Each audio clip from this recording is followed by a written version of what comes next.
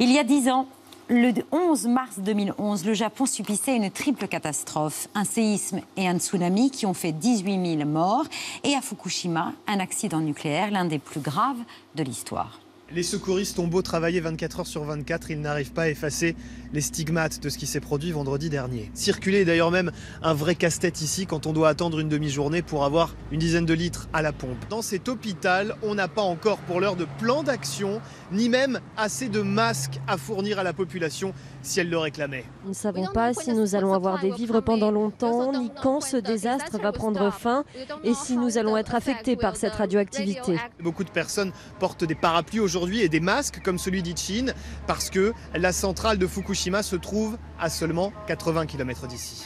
Bonsoir François-Xavier Ménage, reporter à TF1. Il y a dix ans, c'était pour BFM que vous aviez couvert euh, la catastrophe de Fukushima et c'est encore aujourd'hui euh, le reportage qui vous hante le plus j'ai laissé mon cerveau là-bas, comme je dis. Euh, j'y pense, je pense tous les jours. J'ai eu la chance d'aller dans la zone rouge une demi-douzaine de fois. Je suis retourné depuis la catastrophe 12 fois au Japon et je suis obsédé par ce danger invisible, je suis obsédé par ces ravages qu'on n'arrivera jamais à décrire, je suis obsédé par euh, la résilience des Japonais et je suis obsédé par toutes les questions que ça pose. Vous n'avez jamais de réponse absolue avec euh, Fukushima, vous n'avez que des questions en plus sur la catastrophe et ce qui pourra arriver après. D'abord, les images qui restent indélébiles. Lorsque vous arrivez sur place euh, C'est le silence. C'est ces maisons qui sont plongées dans le silence. on imagine tous ceux qui sont partis de force évidemment. On a quand même 80 000 personnes dans le premier cercle qui sont appelées à partir. Autour de Fukushima. Autour de Fukushima, cette fameuse zone rouge. Et pour euh, certains qui n'ont pas revu leur maison, ils ont la possibilité parfois d'y aller une fois par mois.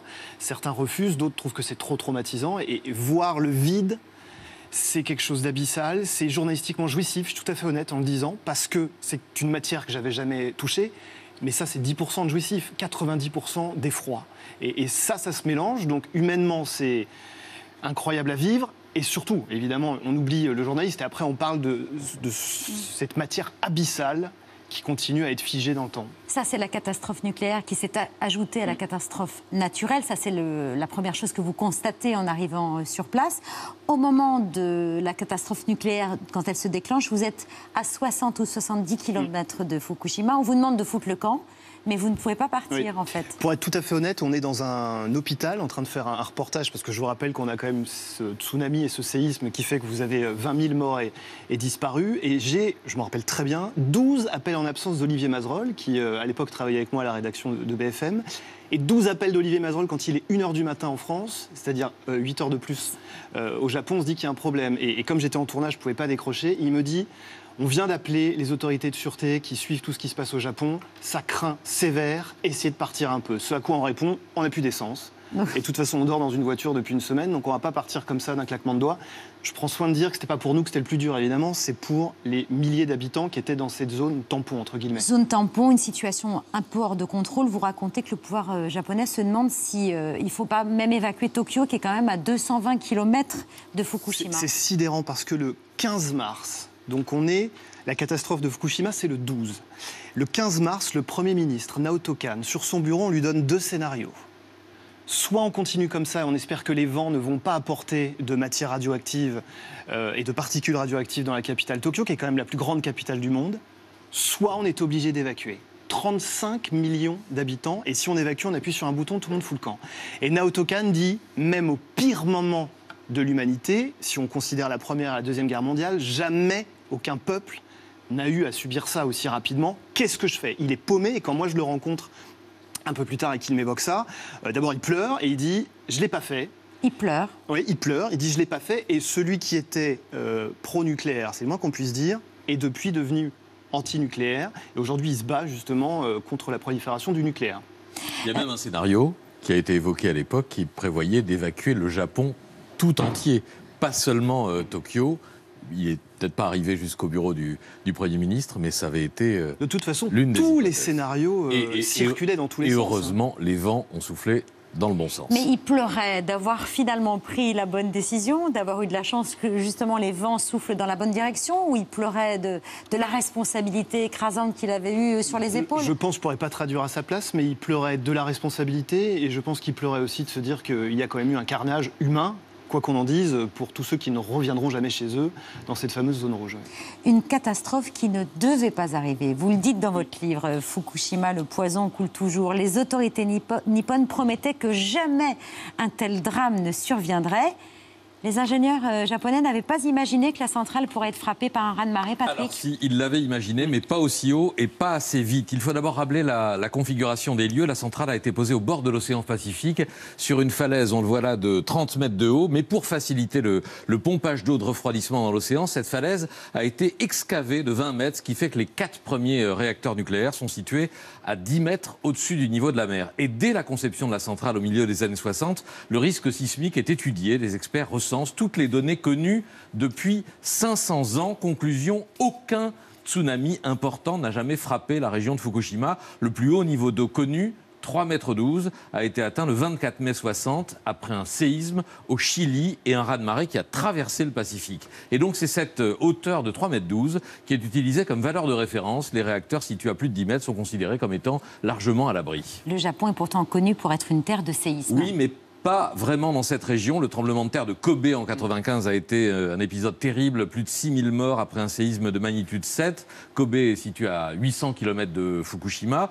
Mais après ce drame, le Japon lance une refonte de la prévention du risque sismique avec euh, des méthodes de pointe, disait-on à l'époque. Et dix ans plus tard, les experts relèvent le niveau. La centrale de Fukushima doit pouvoir résister selon les nouvelles normes, à un séisme de magnitude 7,9 et une montée des eaux de 6 mètres. Des travaux de surélévation sont alors entrepris, mais d'autres études imaginent des scénarios bien pires, une magnitude de 8,2, une montée des eaux de 10 mètres. L'une de ces études évalue le risque d'une vague de 10 mètres à une chance sur 100 000 pour le million d'années à venir. L'exploitant de la centrale TEPCO met alors en place un groupe de travail en août 2010 sept mois avant le drame. Et le 11 mars 2011 L'inimaginable se produit au sens propre. Tous les scénarios sont dépassés. Ce ne sont pas quelques dizaines de kilomètres de failles sismiques qui rompent au large du Japon, comme c'était envisagé dans la plupart des études, mais environ 500 kilomètres. Le pays connaît le plus violent tremblement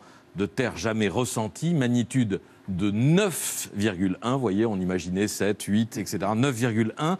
La centrale résiste euh, au séisme, mais pas aux vagues de 15 mètres qui franchissent les digues. L'alimentation électrique est noyée, privée de refroidissement. Trois réacteurs entrent en fusion. Je dois citer les sources euh, de ce récit euh, parce que c'est important. Deux enseignants en sciences et techniques, Michael Mangeon et Mathias Roger, qui se sont fondés sur euh, des rapports officiels. Il y en a eu beaucoup au Japon et à l'international. Les catastrophes détestent le mot jamais François-Xavier Oui, alors c'est certain que euh, on déteste le mot jamais, mais on se pose aussi la question du et après. Parce que franchement, c'est vrai qu'on peut dire que les Japonais ont manqué de transparence, on peut dire que les Japonais euh, n'ont pas tout dit. Et c'est vrai, il y a eu des rapports caviardés, euh, c'est une évidence. Mais ils ont quand même réagi avec une certaine efficacité. Il faut rappeler aussi que le patron de la centrale a désobéi. Mm aux ordres de TEPCO qui disait on arrête de mettre de l'eau de mer, mm. sur les réacteurs. Et lui avait cette intime conviction, et au Japon, la désobéissance, c'est peut-être pas autre chose qu'en France. Et il a eu l'intime conviction de continuer, donc il a dit ok, on arrête le robinet. Il a continué, et c'est ce qui a probablement permis à Fukushima de ne pas devenir Tchernobyl.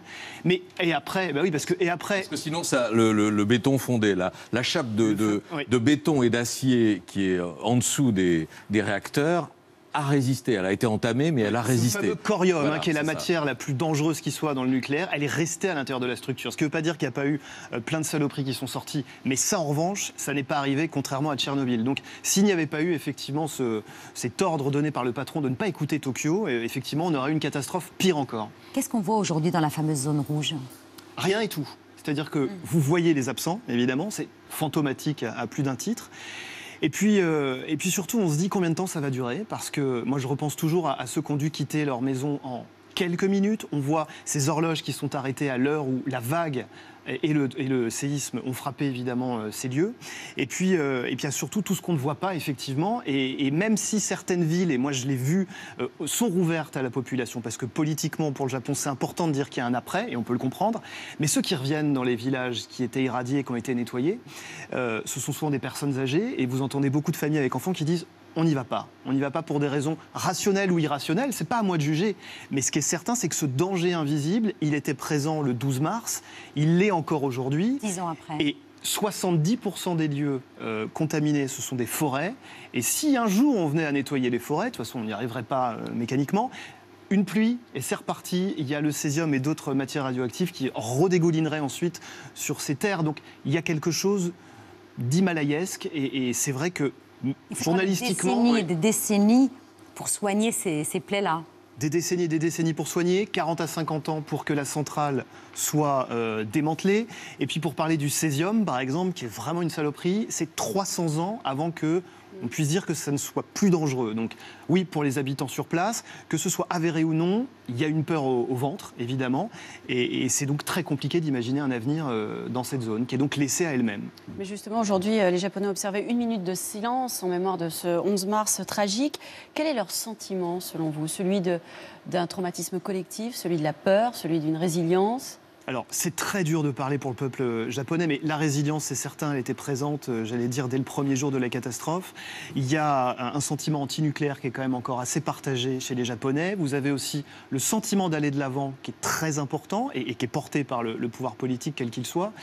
Et puis, je pense aussi pour ceux, j'insiste, qui ont dû quitter leur vie, littéralement, quitter sa vie physiquement, je pense qu'il y a une, douleur qui est insondable. Et quand on peut lire euh, ces derniers jours que euh, la catastrophe de Fukushima n'a pas fait de mort, c'est un rapport de l'ONU, j'ai envie de répondre quand même en parlant euh, des victimes physiques et psychologiques que euh, non, il y a quand même évidemment des dégâts qui sont Et- insondables. Les morts sur des- de l'évacuation, mais aucune mort directe, c'est la réalité. à, à des cancers directs, c'est la réalité, même si les experts disent aussi qu'il est trop tôt pour affirmer ça de manière définitive, Ouais. et même si, euh, là encore, on, on peut se dire que pour certains, c'est très compliqué à calculer. C'est très compliqué de se dire si vous avez un cancer, c'est lié à ça ou pas à ça. Mais Et en tout cas, on n'est est pas la dans part les... Des centaines d'enquêtes, Voilà. d'enquêteurs sur le terrain quand même.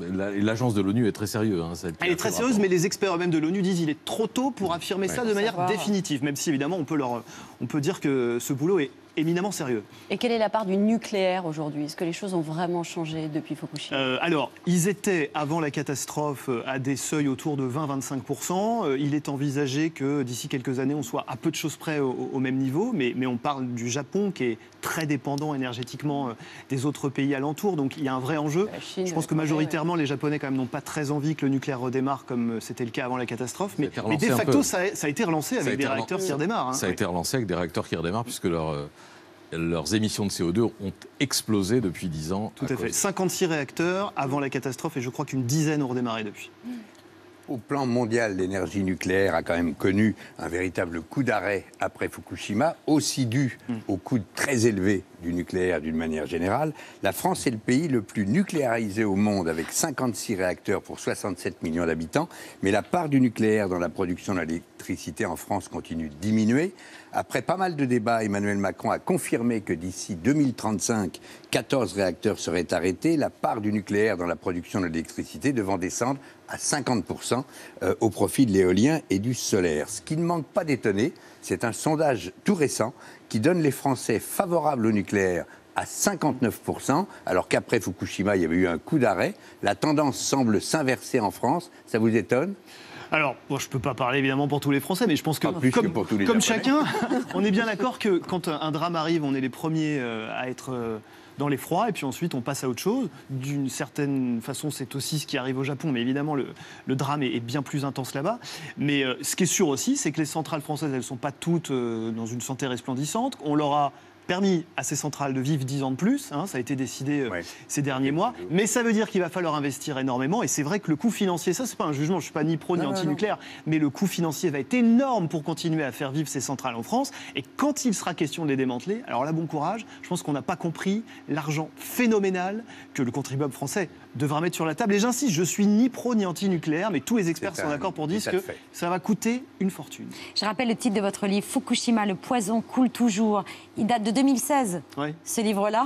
Et ça n'a Euh, pas changé sur place, ça, tristement. Tristement. Au Japon comme en France, une autre catastrophe est possible. Et ça, c'est cette menace invisible-là qui vous hante. Merci d'être venu ce soir en parler sur le plateau de C'est à vous. Et puis, on suit vos reportages sur TF1. Euh, c'est l'heure du 5 sur 5 d'Émilie Train-Guyenne. Vous restez avec nous.